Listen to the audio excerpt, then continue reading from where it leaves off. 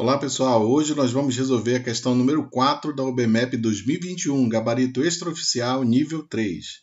Lembrando que se você está estudando para a prova da OBMEP que vai acontecer em agosto, essa aqui é uma prova que já foi aplicada em algumas cidades do Brasil, ok? As provas serão diferentes, só lembrando. Não esqueça de deixar seu like e compartilhar esse vídeo com outras pessoas que estão estudando para a OBMEP.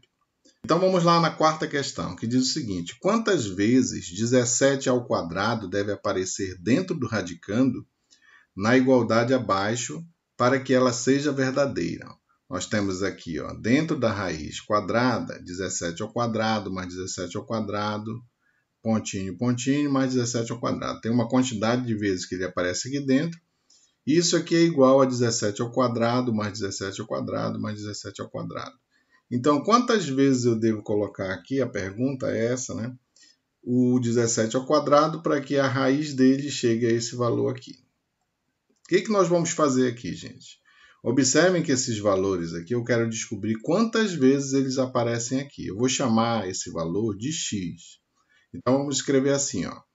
17 ao quadrado aqui dentro da raiz quadrada, vezes x, que é a quantidade de vezes que ele vai aparecer aqui dentro. E aqui, depois da igualdade, observe que o 17 ao quadrado aparece três vezes. Então, vou colocar aqui, ó, 3 vezes 17 ao quadrado.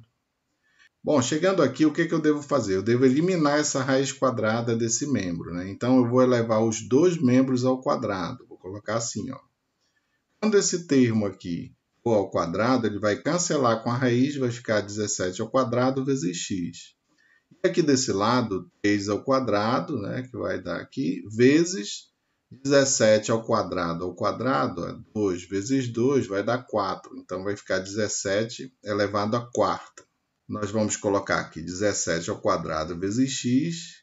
Aqui vai ficar 3 ao quadrado vezes. O que, é 17 elevado à quarta? É 17 ao quadrado vezes 17 ao quadrado. Conserva a base e soma os expoentes para dar 4 aqui. Como tem esse termo em ambos os lados, eu vou cancelar aqui ó, esse termo com esse. Então, x vai ser igual a 3 ao quadrado vezes 17 ao quadrado. 3 ao quadrado é 9 e 17 ao quadrado é 289 vezes 9. Esse x vai ser igual a 2.601. Essa é a quantidade de vezes que o 17 ao quadrado vai aparecer aqui dentro da raiz para que o resultado seja igual a esse outro aqui. Ó. Então, 2601 é a nossa letra A. Então, gente, vamos ficar por aqui. Na próxima aula a gente volta com a questão número 5. Valeu!